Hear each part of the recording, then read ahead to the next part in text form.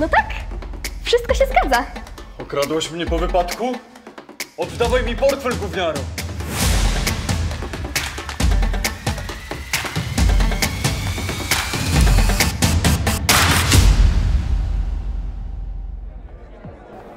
Przyjechałem hulajnogą, to i wrócę hulajnogą, nie?